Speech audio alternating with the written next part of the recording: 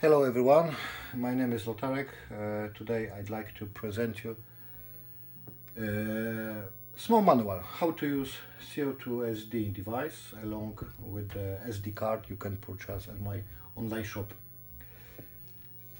CO2 SD device is a simple 16 floppy drive emulator you can use with your Atari. You can connect it to the back of your Atari computer if you have purchased SD card from me you stick it in the front and you start the Atari. The most important thing at this moment is to press and hold shift button. My computer is equipped with the Rapidus and Ultimate upgrade. In other computers it will look different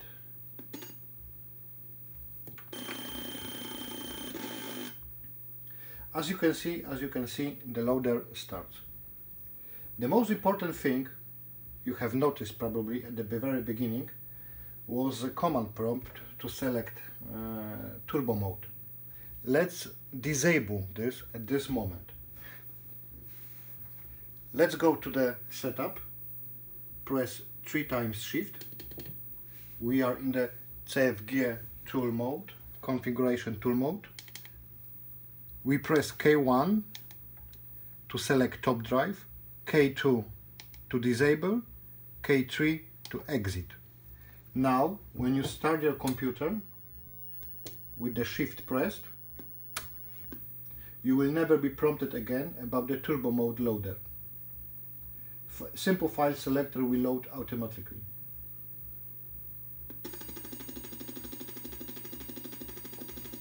You can leave the button.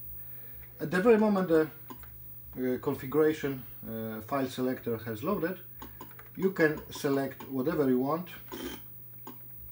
Let's uh, let's select uh, games. You use your arrows and the return button. Floppy images, alphabetical, Zybex. Okay. I have selected the Zybex. As you can see, the title is highlighted. I press Option key and holding Option key, I press the return button for two seconds. Still holding Option key. Why? Option key disables Atari Basic. To load Atari games, the Basic must be disabled in the most cases approximately 99% of the games. As you can see now, the Zybex is loading. It will take some time, but for sure it will load. If you have stock Atari, as uh, my Atari is now set on, the loading time may take 15-20 seconds. If you have some turbo installed, it will take much much faster. Okay, the second aspect I want to show you is how to force SIO2SD with my SD card to load to load a file selector at every startup. Once again, we're going to the configuration mode of the SIO2SD, pressing two times shift. We are in the configuration tool mode. Next option, next option, next option, and now we have configuration tool mode startup plus shift. What does it mean? At every startup when you have shift pressed the configuration tool will load. We can change it. Every startup. And let's keep it that way and let's turn off uh, configuration. Now if I start my Atari look what happens. Without touching anything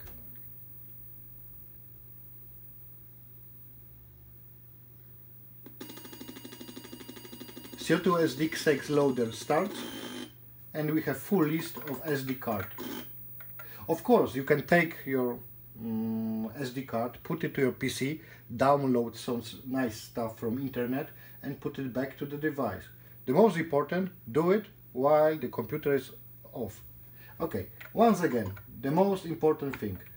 Let's now let's load some executable file. Let's uh, let's load I don't know. Let's load Fred.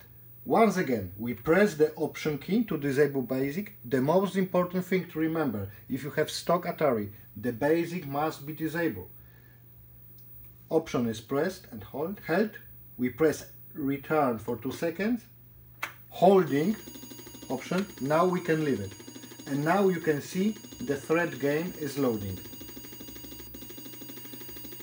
Of course we must give it some time.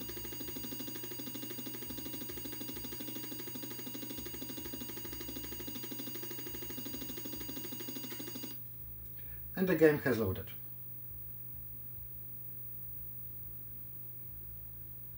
The crunching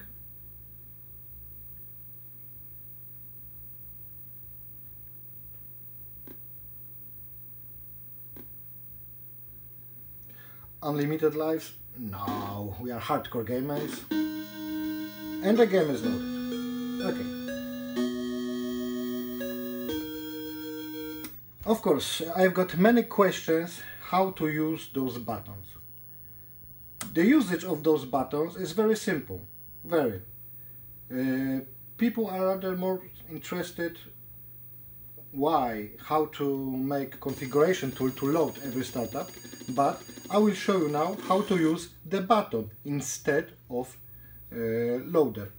Once again, we're going to the configuration tool mode, pressing shift three times, next option, next option, next option, configuration tool, we change from every startup to startup plus shift, K3 to exit. And now I can select game from my D1 drive. As you can see, K1 is the next drive. Press uh, when you press press and hold Shift, K changes from next drive to previous drive. K2 next folder, next file. Let's go to the games inside. Enter. Trained.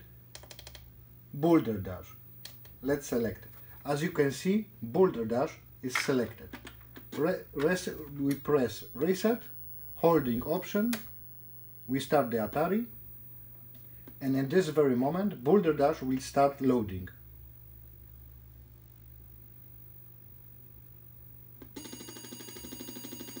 As you can see, Boulder Dash is loading. That was the simple usage of the keyboard. Of course, it doesn't, it makes no problem now to start bootloader. We just press three times to show configuration tool mode, reset, oh sorry, this is the game that don't, doesn't reset, let's press shift and let's start the computer again. And now the file selector should load as we have set in our setup option startup plus shift. Startup, it means Atari starts, shift, this key pressed at the start. I think all is now clear. Uh, I have now three options of CO2 SD devices available at my shop. Gray XS style, black and uh, white one. Uh, thank you very much for your time and watching. See ya.